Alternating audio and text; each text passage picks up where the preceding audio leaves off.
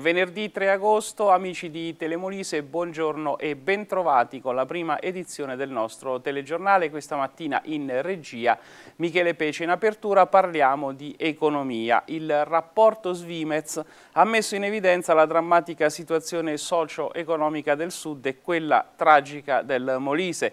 Si tratta di dati statistici già noti ma ignorati dalla classe politica. Nessuna dichiarazione dalla Regione, mentre l'Europa parlamentare Aldo Patriciello punta i piedi e chiede discontinuità con il passato. Ascoltiamo Giovanni Minicozzi.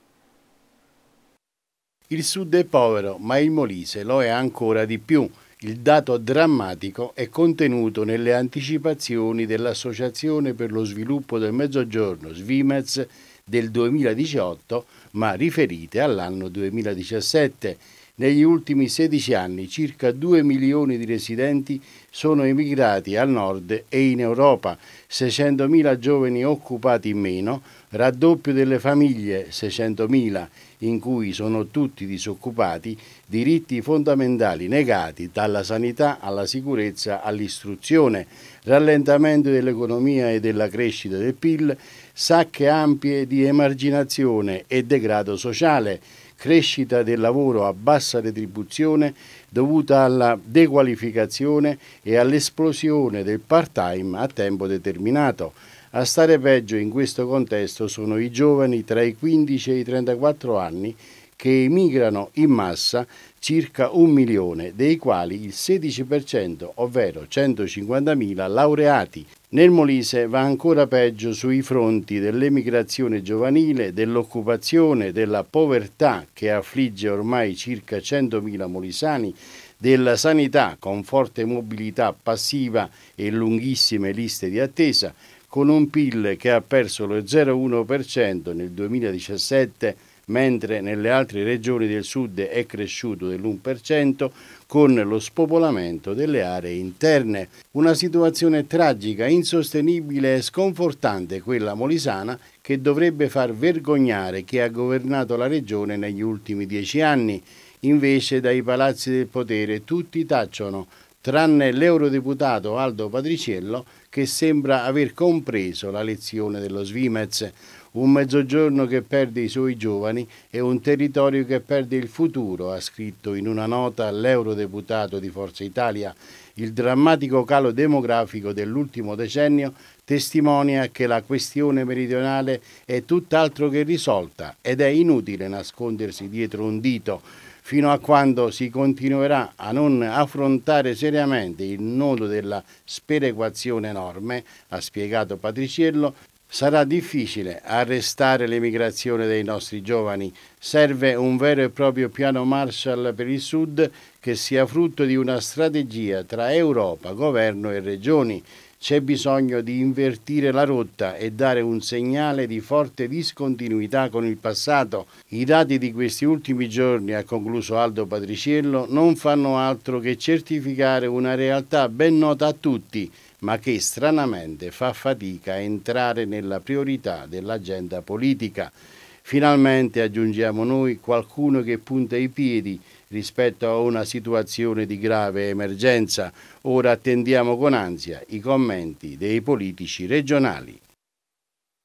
Il sindaco di Campobasso Antonio Battista ha firmato un'ordinanza con cui si vieta l'apertura sul territorio comunale di negozi e punti vendita al dettaglio di prodotti a base di cannabis, cannabis light e canapa legale a meno di 500 metri da aree sensibili quali istituti scolastici, luoghi di culto, strutture a carattere culturale e sportivo, strutture sanitarie ed ospedaliere residenziali o semiresidenziali, stazioni ferroviarie e terminal bus, un'ordinanza che ricalca le prescrizioni contenute nel regolamento comunale per l'esercizio del gioco lecito. L'ordinanza che tutela la salute dei cittadini ha una durata di 90 90 giorni in attesa che l'apposita commissione stili un regolamento ad hoc che dovrà essere approvato in Consiglio Comunale.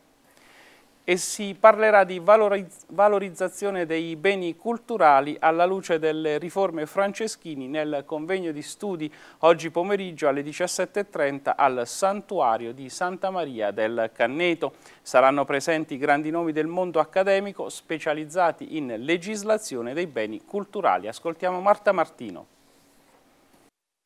Un convegno di studi sul tema della valorizzazione dei beni culturali alla luce delle riforme franceschini presso il santuario di Santa Maria del Canneto a cui parteciperanno accademici specializzati in legislazione dei beni culturali, nonché l'avvocato vice generale dello Stato Giuseppe Albenzio che ha trattato in prima persona il contenzioso amministrativo sulla nomina dei direttori dei poli museali da poco conclusosi con l'adunanza plenaria del Consiglio di Stato lo scorso 25 giugno. L'evento prende spunto dalle recenti riforme franceschini, eh, sono, insomma, da pochi giorni ad esempio si discute sulla chiusura dei musei gratuiti al pubblico e insomma di tante altre riforme che hanno coinvolto in generale l'amministrazione culturale dei beni culturali, in modo particolare il tema della valorizzazione dei beni culturali nel Molise. Ci saranno dei relatori prestigiosi, a parte Albenzio ci saranno altri professori professori, insigni professori del mondo accademico, solo per fare un esempio il professor Budelli dell'Università di Perugia, il professor Morrone dell'Università di Chieti. Eh, cercheremo di fare valorizzazione, perché in fondo la valorizzazione cos'è? Non è altro che la migliore conoscenza, conoscibilità del bene culturale, fruibilità dello stesso. I lavori del convegno verranno poi raccolti in un libro insieme agli scatti fotografici dei più bei posti del Molise. Durante l'incontro si affronterà anche il tema della recente decisione del Ministro dei Beni Culturali di abolire le domeniche gratis nei luoghi di cultura. Il tema è delicato perché riguarda il connubio, non sappiamo se felice o meno, al momento pare non esserlo, tra due tematiche importanti sulla valorizzazione, cioè comprendere se per valorizzazione di un bene culturale si debba intendere su il suo migliore godimento, la sua migliore fruibilità del bene e quindi appunto permetterne l'accesso a tutti, a chiunque in modo universale, oppure se per valorizzazione dovesse intendersi come dire, eh, il cercare di eh, ottenere le maggiori entrate finanziarie possibili. Ovviamente sono due anime contrapposte. Ed è tutto pronto a Frosolone per la nuova edizione della Notte Arancione che dalle 18 e fino a tardi animerà l'intero centro storico di uno dei borghi più belli d'Italia. Sono previsti percorsi enogastronomici, botteghe, un mercatino, animazione e musica e DJ set con discoteca all'aperto fino a notte fonda. Bene, con questo è tutto per l'informazione, adesso passiamo alla rassegna stampa.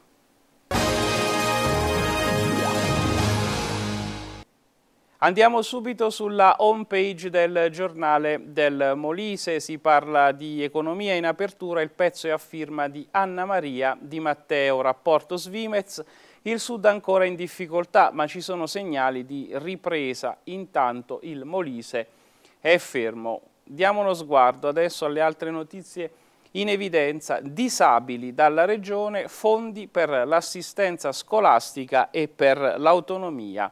Guasto alla e posti letto carenti, proteste al veneziale di Isernia.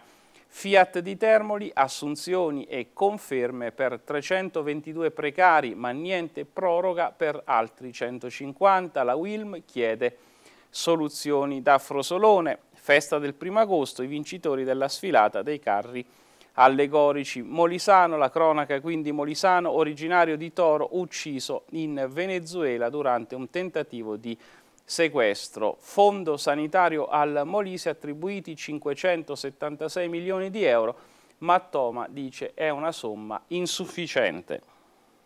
Passiamo adesso alla prima pagina di primo piano, la cronaca in apertura, imprenditore molisano assassinato a Maracai.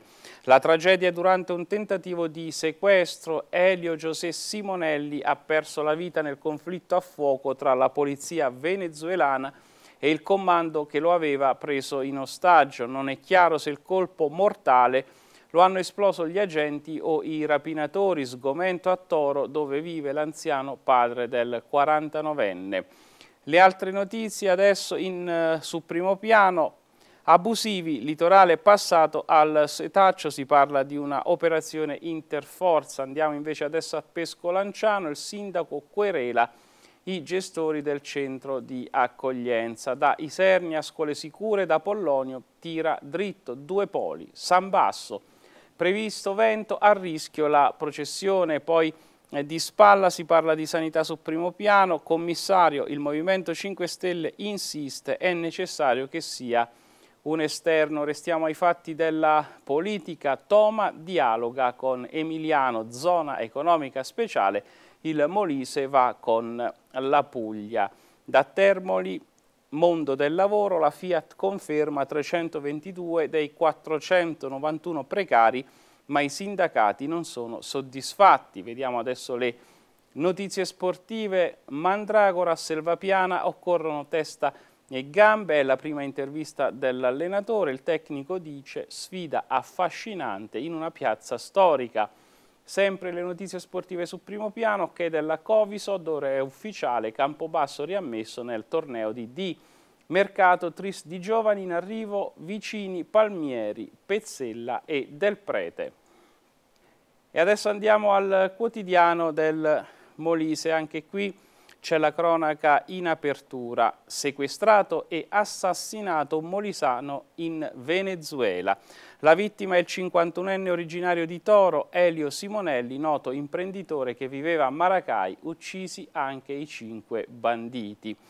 Le notizie in taglio alto sul quotidiano, sanità ancora disagi, ai Serni attack fuori uso, i sindacati dicono urge un tavolo di crisi. Antonio Federico del Movimento 5 Stelle dice la rete dell'emergenza torni al pubblico. Si parla poi di scuola, personale ATA, previste 52 immissioni in ruolo. Toma scarica d'Alfonso, scrive il quotidiano, zona economica speciale adriatica, il Molise chiede l'adesione alla Puglia. Andiamo adesso a centropagina Montaquila, tir si ribalta sulla strada statale 158, miracolato il conducente, licenziamenti Conad, i sindacati dicono inaccettabili 35 esuberi, ieri l'incontro con il governatore, da Termoli Fiat assunti oltre 300 interinali ma la produzione è in calo, da Isernia sospetta Overdose professionista in rianimazione. Le notizie sportive, il direttivo della Lega Nazionale Dilettanti, Campobasso riammesso in Serie D, ora si aspetta il girone mercato Spinelli e Dorsi in rosso-blu, ecco Pezzella, Palmieri e Del Prete.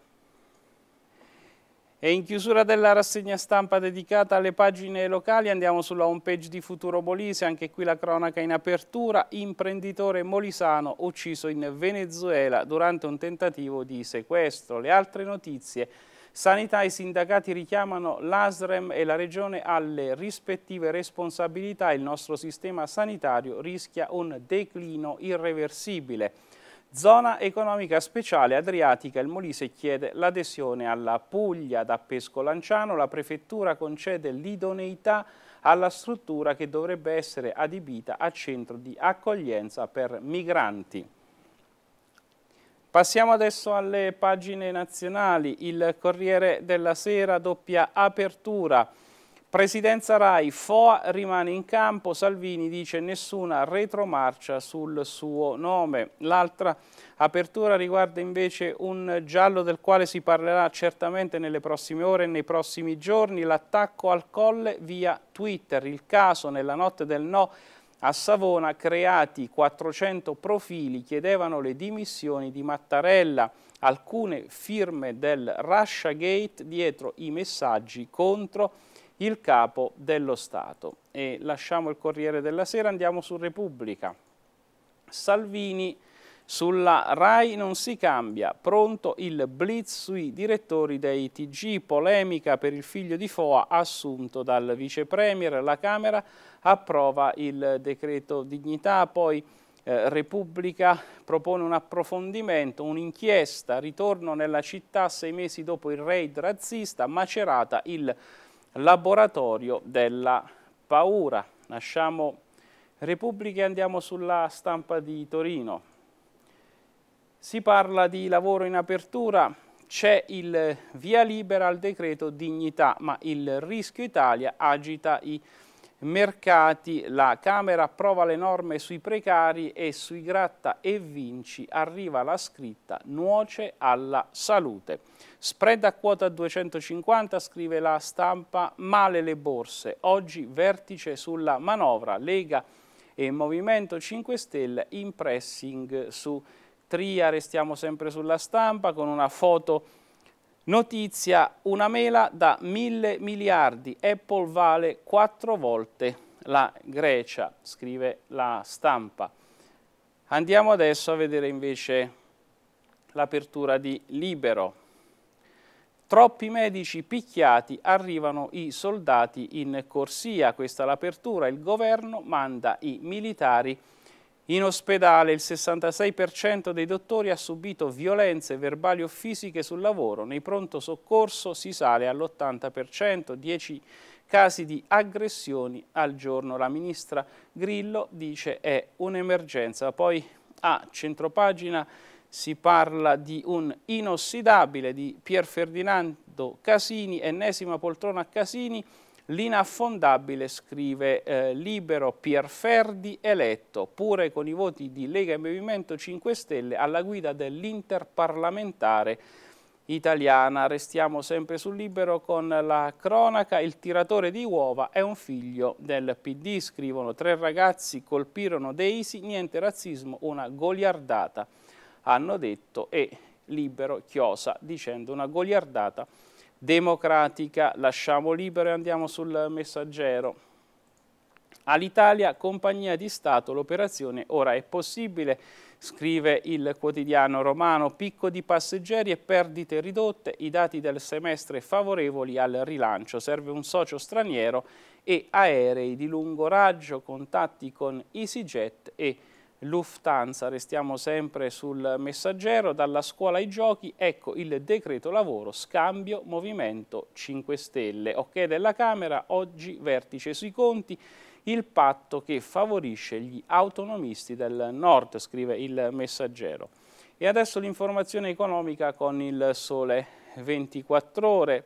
Sul tavolo di Conte il dossier Nava Consob ne prende atto, questo il titolo di apertura che fa questa mattina il Sole 24 Ore, poi c'è un'intervista al presidente di Telecom, Conti. Nell'interesse dell'Italia, una rete unica di TLC. Passiamo adesso al manifesto, la chiamavano dignità, questo è il titolo di apertura. Alla Camera il voto finale sul decreto dignità del Ministro Di Maio prevede la stretta sui contratti a termine, indennizi più alti ai licenziati, ma contraddice la lotta alla precarietà con l'estensione dei voucher in agricoltura, turismo e enti locali, protestano i sindacati. Questo il titolo del manifesto di questa mattina, il mattino di Napoli. Vediamo qual è l'apertura. Lega Movimento 5 Stelle, lo scambio anti-Sud, sì della Camera al decreto lavoro, critiche soft per avere il via libera sprint all'autonomia di Lombardia e Veneto, pressing del Carroccio sulle imprese del nord, stretta giochi, gratta e vinci con la scritta nuoce alla salute, poi sul mattino vediamo questa notizia che ritroveremo anche nella sezione dedicata allo sport, dramma, Niki Lauda, trapianto al polmone, è in pericolo di vita. Lasciamo il mattino e passiamo all'altro quotidiano romano, il Tempo. Io, cronista aggredito dai Rom, questa l'apertura, giornalista del tempo assalito, gli sgomberati del River occupano un hotel, sgradita la presenza del nostro inviato, per lui mani addosso e minaccia di morte, restiamo sempre sul tempo, presi i tiratori di uova razziste, Ops 1 è figlio di un politico Dem, questo dice il tempo, passiamo alla verità che apre sempre sul caso delle uova. Il papà di Daisy che attacca Salvini, condannato a 5 anni per mafia, il caso di Moncalieri. Restiamo sulla verità e andiamo a centropagina. Si parla di banche, da Banca Etruria, un milione al tesoriere di Messina Denaro. Il prestito, scrive la verità, grazie al membro del CDA che aprì le porte a Boschi. Il riferimento è al papà dell'ex ministro. Passiamo al secolo d'Italia. Andremo d'accordo, questo è il titolo rassicurante che fa il secolo d'Italia con riferimento alle parole di Silvio Berlusconi che torna a ribadire l'unità del centro-destra. Vediamo le altre notizie in primo piano. Moncalieri, presi i tre ragazzi, razzismo, scrive il secolo, no, si tratta di una goliardata come hanno dichiarato caso Rai, Foa risponde con classe, servirò la Rai con rigore.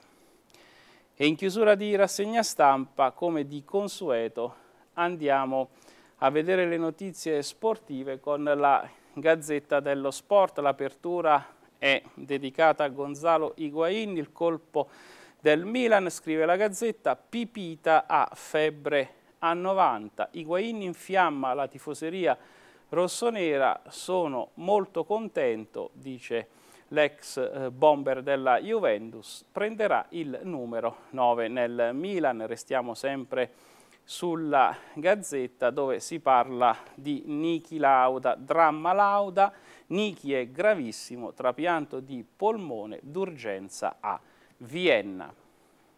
Bene, con le notizie sportive si chiude la nostra rassegna stampa, l'appuntamento è alle ore 14 con il nostro telegiornale. A voi tutti l'augurio di una buona giornata.